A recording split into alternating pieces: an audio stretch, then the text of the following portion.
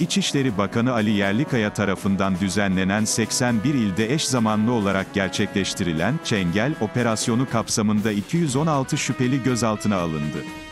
Operasyon sonucunda yaklaşık 43 milyon TL'lik vergi kaybının önüne geçildi.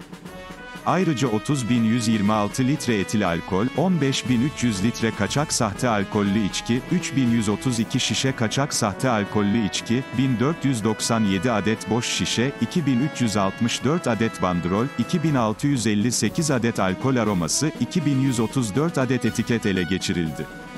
25 adet yasa dışı, kaçak ve sahte alkollü içki imalathanesi tespit edildi. Operasyonları gerçekleştiren polisler ve Gelir İdaresi Başkanlığı çalışanları tebrik edildi ve operasyonların artarak devam edeceği belirtildi.